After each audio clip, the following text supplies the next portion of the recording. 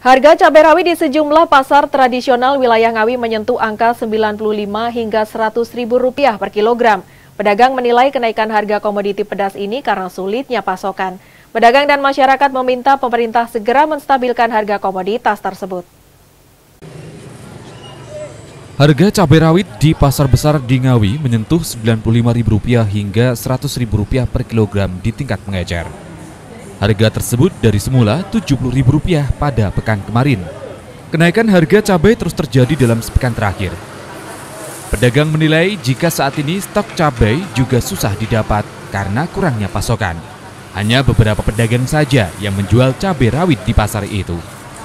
Dampak dari kenaikan harga tersebut, para pedagang mengaku pembeli pun menjadi berkurang. Pembeli yang biasanya membeli hingga 1 kg saat ini tinggal setengah kilogram. Ada juga yang mensiasati dengan dicampur cabai keriting atau cabai kering karena mahalnya cabai rawit. Harga ini sekarang 90.000 untuk cabai rawit merah. Kalau tampar harganya 1 kilo 65.000. Kalau tomat, tomat 1 kilo harganya 13.000. Cabai rawit hijau harganya 45.000. Dan ada kenaikan lagi untuk brambang atau bawang merah. Bawang merah 1 kilo harganya dulunya eh, 28.000, sekarang jadi 45.000 rupiah. Bu, kalau yang tembus 100 ribu yang cabai jenis apa, Bu? Jenis rawit merah. Itu harga sampai 100 ribu?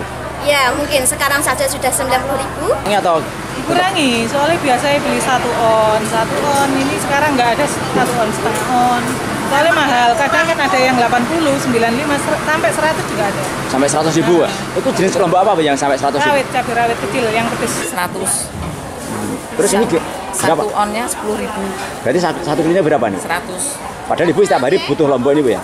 iya tiap hari ya tetap beli tapi ya dikurangi belinya Biasanya beli berapa, Bu? tidak mesti mas seperempat paling sedikit Terus sekarang?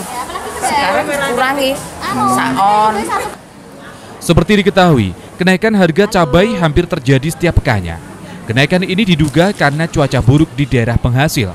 Akibatnya, pedagang mengurangi stok cabai yang dijual di pasaran. Pedagang dan masyarakat berharap agar pemerintah segera menstabilkan harga komoditi pedas tersebut. Itu Wahyu, CTV, Ngawi.